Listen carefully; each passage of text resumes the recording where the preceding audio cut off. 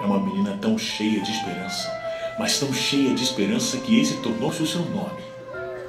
E o que ela mais queria era se tornar uma criança igual a todas as outras. Toda noite, antes de dormir, ela rezava, esperando pelo dia da estrela, onde acreditava-se que todos os desejos eram atendidos.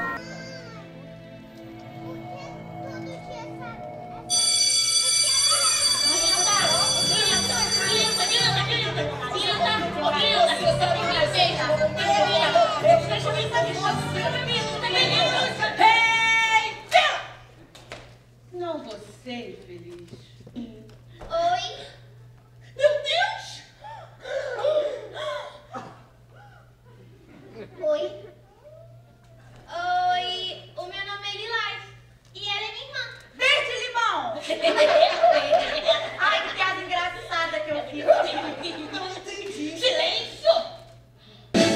Pode entrar.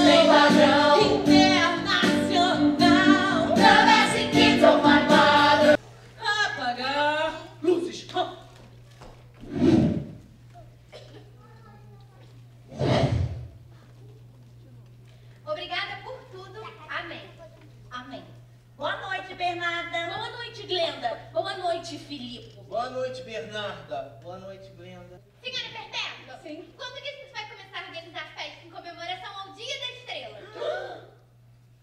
o quê? Nos outros orfanatos a gente sempre fazia. Nunca mais. Repita isso.